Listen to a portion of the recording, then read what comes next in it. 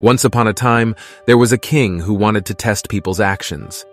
He ordered his men to place a big rock on a road and hid nearby to see if anyone would move it. Wealthy merchants and important people passed by, but they simply walked around the rock and didn't do anything to remove it.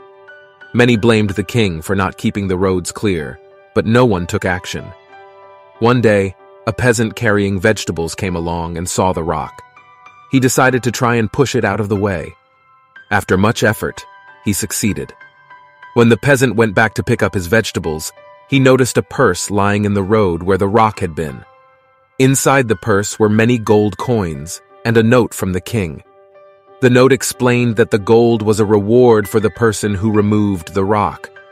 This story teaches us that every obstacle we encounter in life presents an opportunity. It's up to us to seize that opportunity and improve our situation. While some people complain and do nothing, others create opportunities through their kindness, generosity, and willingness to take action.